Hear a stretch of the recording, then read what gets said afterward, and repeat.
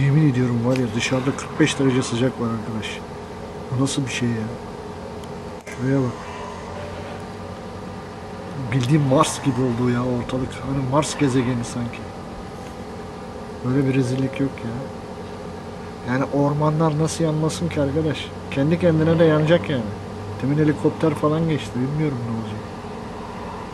Şuraya bak ya. Bildiğim Mars oldu ortalık. Mars. Berbat bir durumdayız şu anda. Yani bereket arabayı içeri aldım da.